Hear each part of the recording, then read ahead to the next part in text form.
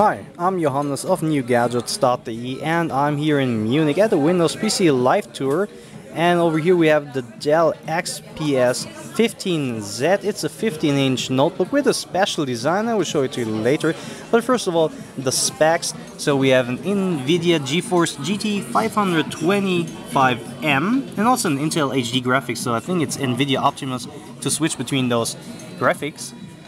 And over here we have an Intel Core i5 2410M with 2.3 gigahertz and 4 gigs of RAM. But of course you can also configure it your system yourself with your needs and um, of course if you want a higher processor you will pay a bit more. And let's have a look at the device. So a glossy 15 inch display. Over here we have the webcam and the built-in microphone. A really nice display. Um, let's have a look at the resolution it's full HD so 1920 by 1080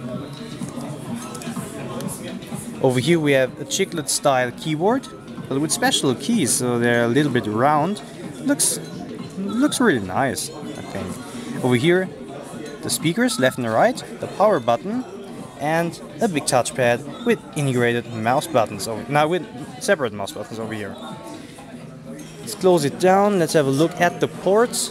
So we have an HDMI port and display port, so you can view it on your monitor or beamer or TV.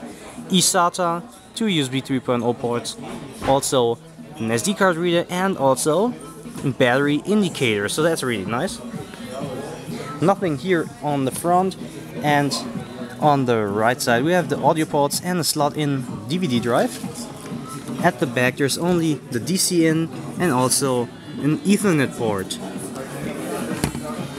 So that's the Dell XPS 15Z, a powerful notebook, but with a really nice design.